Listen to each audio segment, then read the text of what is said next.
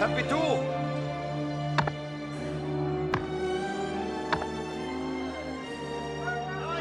أرخوا الحبال.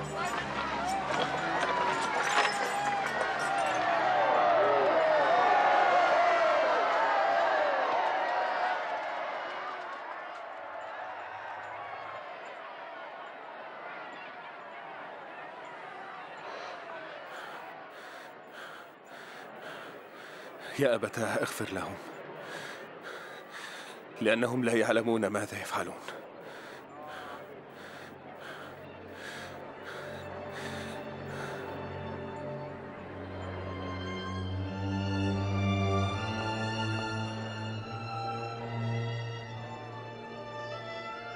خلص كثيرين. فليخلص نفسه. نعم خلص نفسك إن كنت أنت المسيح. انزل من على الصليب. اصنع إحدى معجزاتك.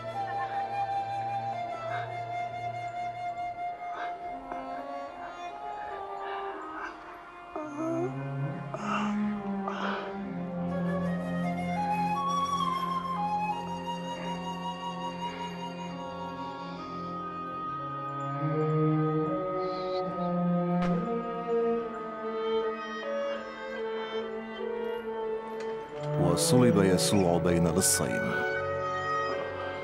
وبهذا تم ما تنبأ به أنبياء الله منذ مئات السنين. انظروا إلى هذا الثوب الملكي. أعطني إياه. لا تمزقه. اسمعوا. فلنلقي عليه قرعة بيننا. نعم لنلعب عليه. حسنا لنلعب عليه. علي بأربعة. علي بخمسة. علي بسبعة. أنا سأربحه. بل سأربحه أنا. آه أيها المحظوظ لقد ربحت الثوب. أيها المحظوظ.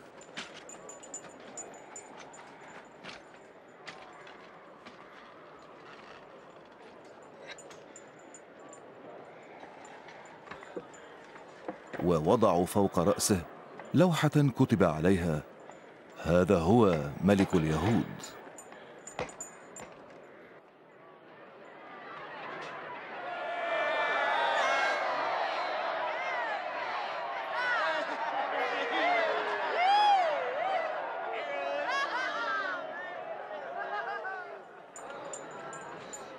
خلص نفسك إن كنت أنت ملك اليهود.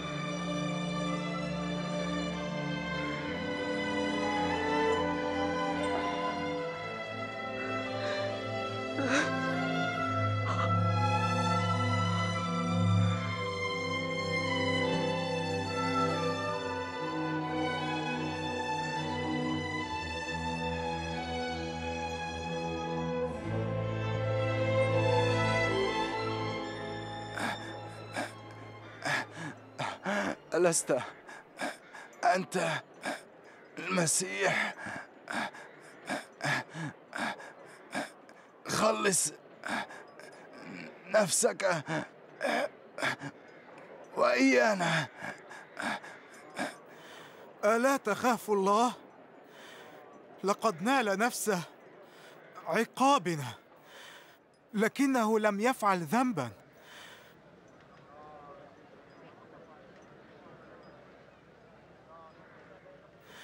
اذكرني يا رب. متى جئت في ملكوتك؟ الحق أقول لك. إنك اليوم تكون معي. في الفردوس.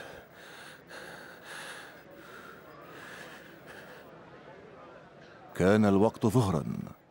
وفجأة حل ظلام على الأرض لثلاث ساعات. حتى الساعة الثالثة بعد الظهر.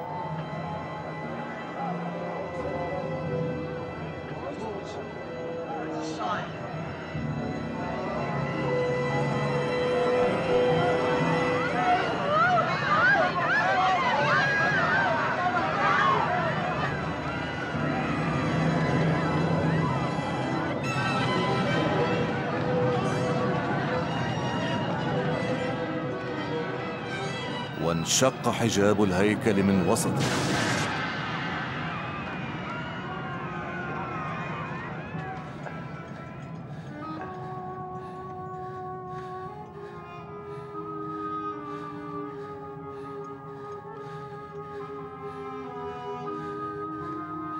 يا أبتاه. في يديك. أستودع روحي.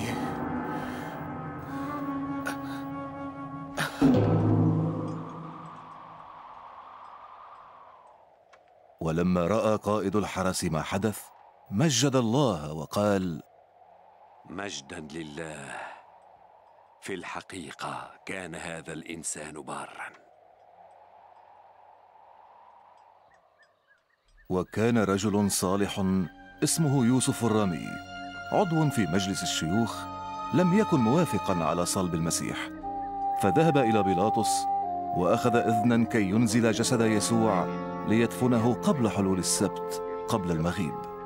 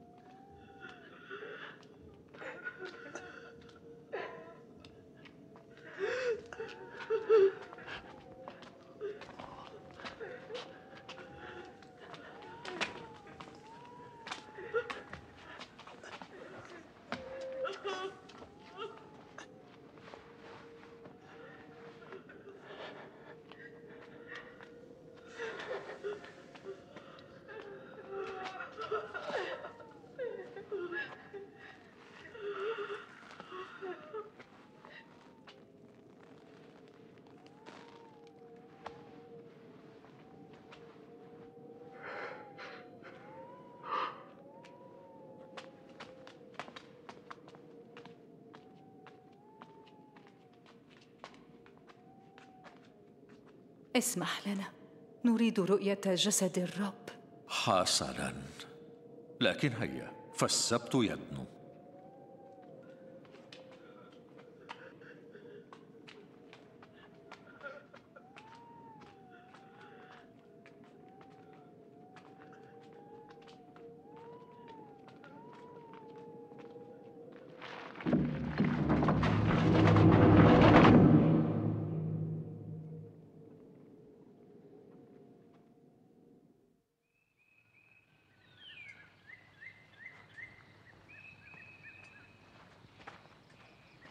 وفي يوم الأحد عند الفجر أتينا القبر حاملات معهن عطورا وأطيابا كنا قد أعددناها. ما الذي حدث هنا؟ فوجدنا الحجر قد تحرك من مكانه.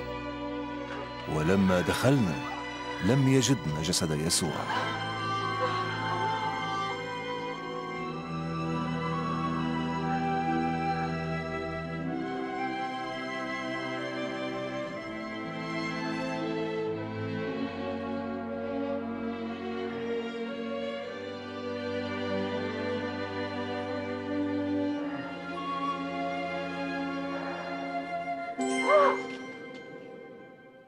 لماذا تطلبنا الحي بين الأموات؟ ليس هو ها هنا لكنه قام. اذكرن ما كلمكم به حين كان بعد في الجليل. سيسلم ابن الإنسان ليد الأشرار فيصلب.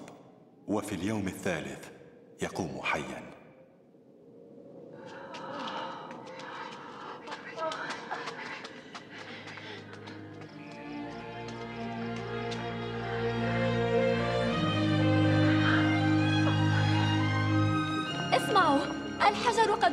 من مكانه.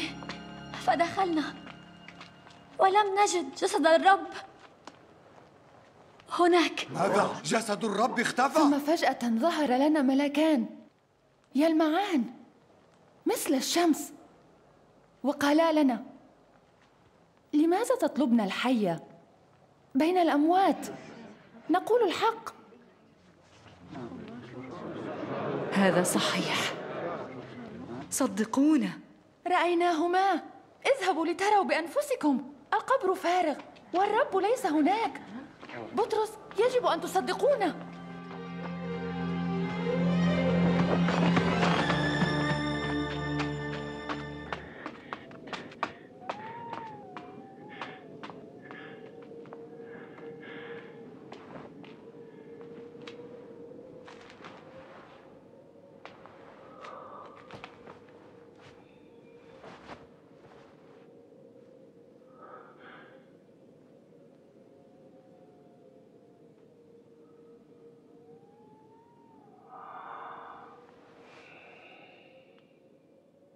وظهر يسوع المسيح لاثنين من تلاميذه فرجعا بفرح إلى الآخرين.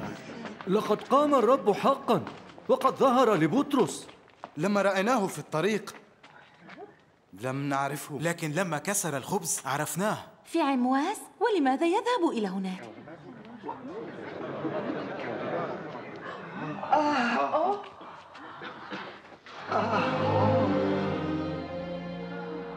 سلام لكم.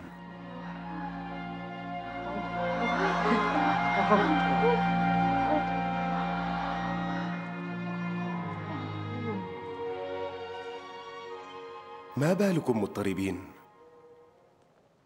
ولماذا تشكون في قلوبكم؟ انظروا. ها يداي وقدماي. إني أنا هو. جسوني وانظروا.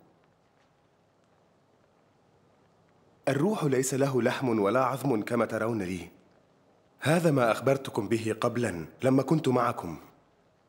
أنه لا بد أن يتم في ما كتب عني في ناموس موسى والأنبياء والمزامير. هذا هو المكتوب. إن المسيح سيموت ويقوم في اليوم الثالث وسيكرز باسمه برسالة التوبة ومغفرة الخطايا لجميع أمم الأرض. بدءا من أورشليم. وأنتم شهود لذلك. وها أنا أرسل إليكم وعد الله الآب. فامكثوا هنا حتى تلبسوا قوة من الأعالي.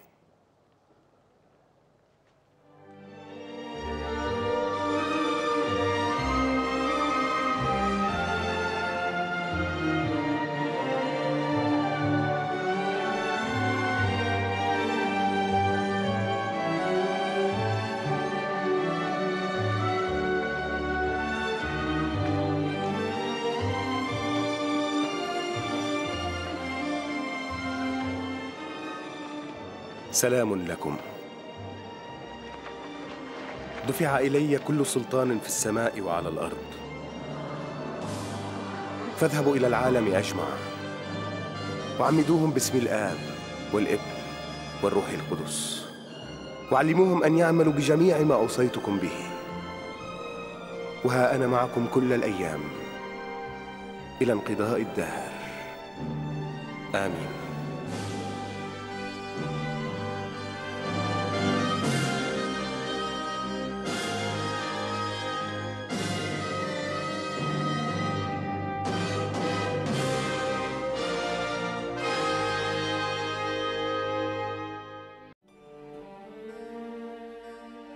لقد أوحى الله في كتابات الأنبياء أن المسيح المنتظر سيأتي لينقذ البشر من عذاب النار.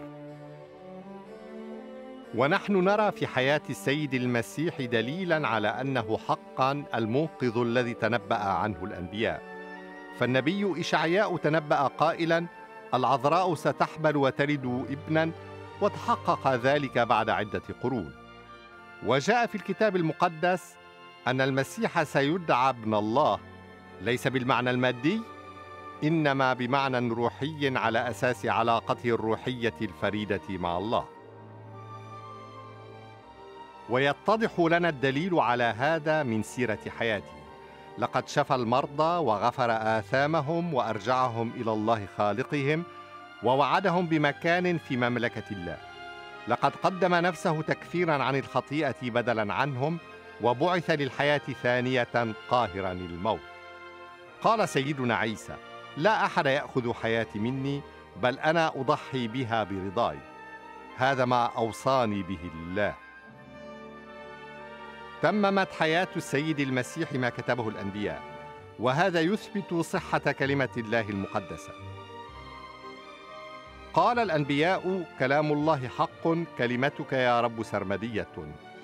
والمسيح نفسه قال السماء والأرض تزولان أما كلامي فلا يزول ابدا.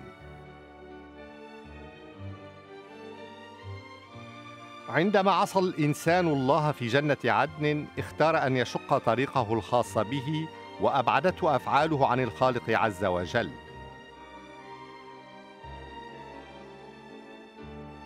يصرح الكتاب المقدس قائلا كل الناس خطاؤون. وأن عقوبة الخطيئة هي الموت وهذا يعني موتا روحيا أي الانفصال الأبدي عن الله. لكن كما أعد الله كبشا لفداء ابن إبراهيم كذلك أرسل الله سيدنا عيسى المسيح فداء لنا. حياته وموته وقيامته من الموت أعادت العلاقة بين الله وبين كل المؤمنين به. أما أتباع سيدنا عيسى فقد غفرت لهم خطاياهم وليس ذلك فحسب بل لن يردوا النار ابدا. لقد ضمنوا الجنة خالدين فيها إلى الأبد مع المسيح عليه السلام. واليوم يمنح سيدنا عيسى لكل شخص الحرية من الذنب وتحكم الخطيئة ليفوز بالنعيم الأبدي. لا يكسب الناس هذه الحرية باتباع ديانة ما ولكن بالثقة بالمسيح والخضوع له.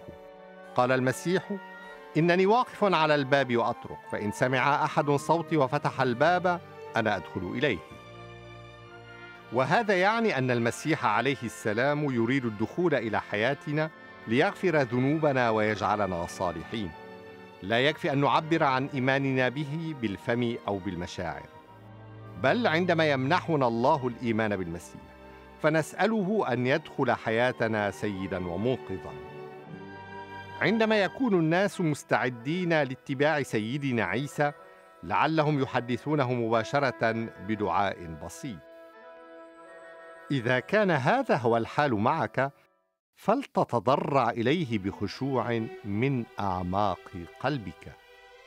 يا سيدي المسيح أنا أحتاج إليك. أشكرك من أجل تضحيتك على الصليب لتفديني من عقاب ذنوبي. وأؤمن بقيامتك منتصرا على الموت. أنا عارف بمعصيتي وأتوب عن سيئاتي. وأقبلك سيدا لي ومنقذا لحياتي من نار جهنم.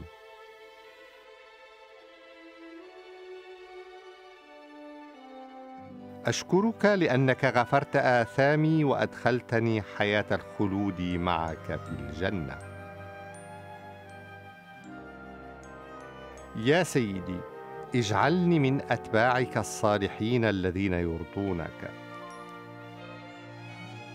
فأهتدي بنورك في كل الأوقات. آمين. قال السيد المسيح عن أتباعه رعيتي يصغون إلى صوتي وأنا أعرفهم وهم يتبعوني لا بد لأتباع المسيح أن يدعوا الله يوميا بالصلاة ويقرأوا كلمته المقدسة لكي يختبروا الحياة المباركة الصالحة التي وعدهم بها.